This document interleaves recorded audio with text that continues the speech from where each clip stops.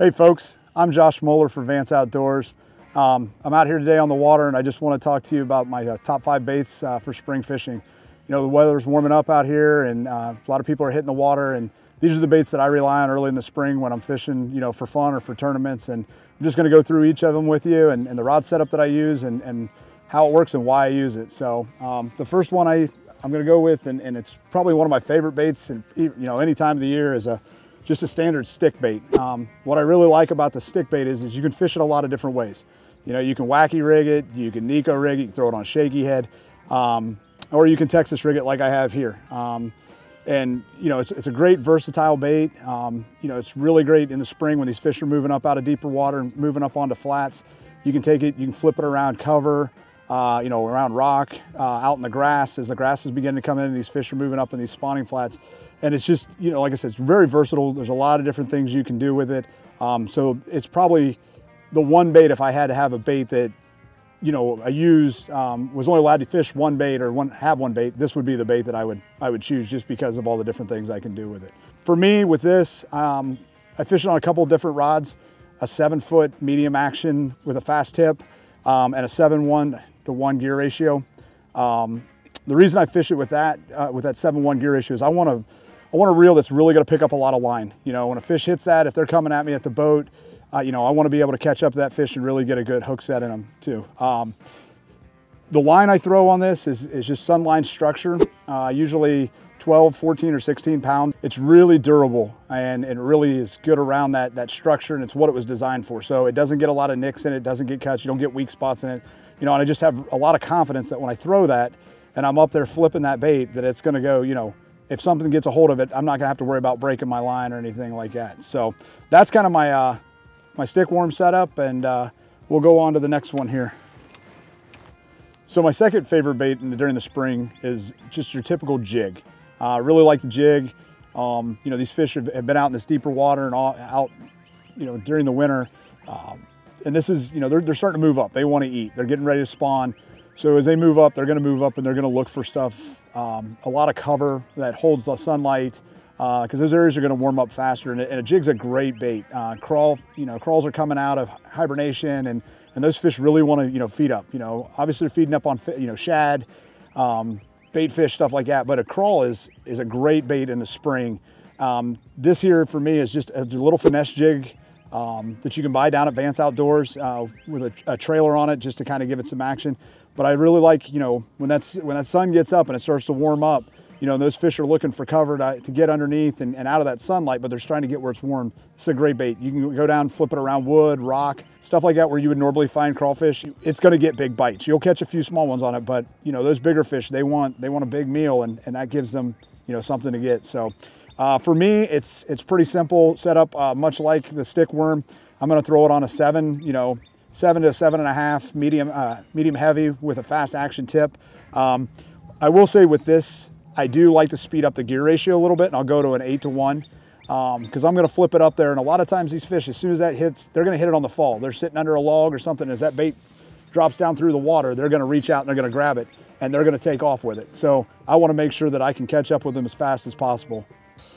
So my third favorite bait of the spring is, is either a spinner bait or a bladed jig. And I really like these baits. Um, you know, like I said earlier, these fish are, they're coming up, they're wanting to eat. And, you know, they're, they're keying in on those, the, those shad, those bait fish. And it's a great bait that you can throw around cover. You can throw it around wood, you can throw it around rock.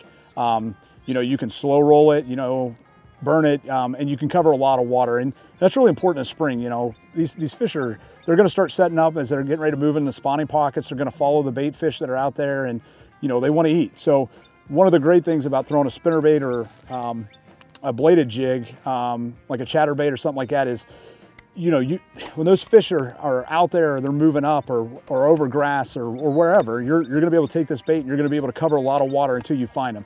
For me, this, you know, this is just a little half ounce um, finesse uh, bait. Uh, we sell it at the store and it, I just put a little swim bait trailer on the back end to give it a little more action. Um, and you know i'll go out um, you know obviously if i get up in, in, shorter or shallower water i'm going to look to throw something you know a 3 eighths maybe even a quarter uh, you know to keep that bait up off the bottom and but you know really right now those fish are anywhere, you know, mostly setting up on the points or out on rock piles and they're in five, six, seven foot of water. So I want that little bit heavier and get that bait down there to where they're at so they can come up and, you know, um, but definitely, definitely a bait that you got to have tied on in the spring is a spinner bait or a chatter bait. So um, the next one, um, for, for me, um, is, is some type of crankbait you know, and, and like we said, you know, they're, they're, these fish are wanting to eat and these, these moving baits or these reaction baits are, are great bait. This is uh, probably one of the, the, they've won more money on this bait in my opinion than probably a lot of baits, but it's a, just a Rapala DT6. Um, it's a great bait to cover water with. Um, one of the things I like about it, it's a balsa bait. So, you know, you can throw it into cover, you can run it, but you know, if it, if it gets hung up, it, it's really good about coming loose. So one of the things that I like uh, for a crankbait rod is I like throwing a glass rod. Um, this here is just a, you know, a six foot 10 uh, medium action rod, but the reason I like the glass rod, it's, and it, it has a moderate fast tip. And the reason is it's, so it's gonna have a lot more flex in that rod going down um, when those fish grab a hold of it. A lot of times, anytime you're throwing a, you know, a treble hook, a lot of times you're gonna grab it and you know, you feel that with a, a fast action or, or your typical rod. And by the time you feel it, you're gonna pull and set that hook. And when you do, you're just pulling those, those treble hooks, you're gonna pull them right out of their mouth. Um, the nice thing about the glass rod is when you, you know, when you're rolling down the bank and they hit it, a lot of times they've already got it in their mouth before you actually feel it. And it gives you a little more flex. Plus with the treble hooks on there, those fish, as they have those, those treble hooks in there and you're pulling with that fast action rod, it's putting a lot of pressure on those treble hooks. And you'll find early in the spring and, and really anytime you're fishing a crankbait or anything like that, um, they, you know, won't always get those hooks real good. So you may have, you know, you just maybe have them by one hook. And when they make those runs or they're, you know, they're fighting you, that rod's gonna give you an extra advantage because it's gonna give some give and take, you know, if you're trying to overpower them. So um, definitely like it on a glass rod, fish it on a six to one, six to four uh, size reel. You know, it's, um, I can speed it up, I can slow it down. It's a, a nice uh, kind of medium of the middle of the road um, or medium speed reel. Um, the other thing too is, is on my crankbaits, I fish a uh, Sunline, but I fish the Sunline crank. And I like that Sunline crank because it's specifically designed for these kind of reaction baits. Same thing with, as we talk about the spinner bait, the chatter bait, they're exactly the same, you know, and it, that it's a fluorocarbon line, but it has some stretch to it. So really like it. Um, it has really great abrasion resistance. So you get around some of these places that maybe have zebra mussels or a lot of rocks or jagged edges. It holds up really well. Um, it's just a great all around line, you know, and depending on the size of the crankbait, if I start really small, you know, I'll, I'll, throw it all the way down to 10 pound, you know, um, 10 pound, 12 pound, but I'll get up into, as we get into, you know, those big DT6s, DT8s in the summertime, I'll get up to throwing it on 16, 20 pound line. Um, but some, you know, so DT6 is great. A couple other uh, baits, you know, that I, that I really like um, is just a, a square bill. I mean, square bills are great. You, you get a rocky, you know, riprap down a bank or, you know, a rocky area, once again, around cover. Uh, you can just kind of roll up there and throw these baits and, and they get down there, they deflect really well off of it.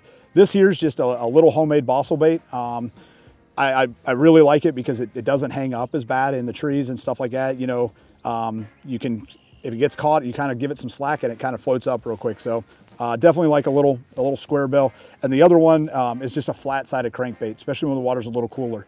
It gets down there, it's got a little bit of a, you know, a different action to it and, and you know, um, flat sides are just, you know, a lot of fish have been caught on a flat side there in the spring. So uh, definitely would tell you to check, um, check those out as well. So my final favorite bait for the spring, and this is probably my, one of my favorite ways to fish and, and you know, it's a bait that's, that's known for wintertime, springtime fishing and fall. I'll be honest, I, I fish it year round and, and I love it is, is just a jerk bait. Um, this bait is, is, is, a lot of fun to fish. You know, you, you get out there and you can fish it deep off of the points and as these fish move up and you know you can make it imitate you know um, dying bait fish or, or, bait fish that are moving really erratic and um, this bait is probably my number one um, favorite way to fish um, what I love about this is you, you, throw it out there and you're kind of snapping it around you're imitating a bait fish and then all of a sudden it's just you know they'll grab it and I mean just about yank sometimes you about yank the rod out of your hand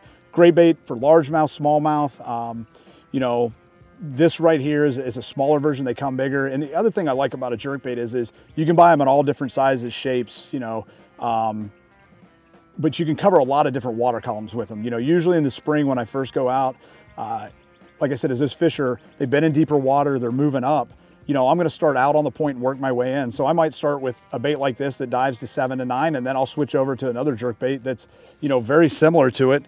Um, for instance, this one here, and it only dives four feet, you know, and then I've got, you know, I'll even carry one in the boat if, if they're over grass or if it's even up in two or three feet, um, you know, I'll, I'll fish those as well. So, uh, like I said, this, this is probably my favorite search bait in the spring too, uh, to try to get those fish to bite. Cause it's the thing I think that most imitates, um, you know, what those fish are feeding on and stuff, uh, especially in open water, really great around your rocky lakes.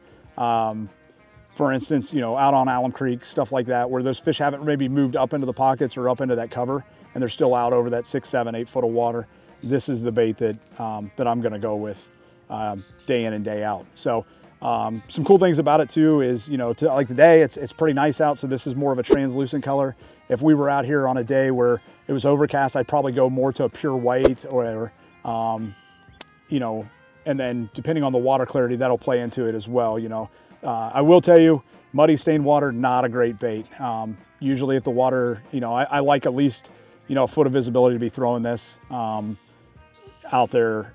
But, you know, definitely around rock, uh, out over points, over top of grass, it's, it's a, a great all around bait. And, and like I said, don't be afraid to throw it in the summer. I've caught a lot of nice smallmouth in the summer on this bait. I've caught, you know, I've caught, caught them in the fall, largemouth as well. I mean, this is a bait that's always tied on the deck of my boat. So, and, uh, you know, great bait. And I'd recommend, you know, if you, if you haven't ever fished a jerk bait, try it out. It's a, it's a lot of fun. So, hey guys, so appreciate you watching. Uh, those are my, basically my favorite baits in spring. And, you know, like I said, most of those baits are available at Vance Outdoors.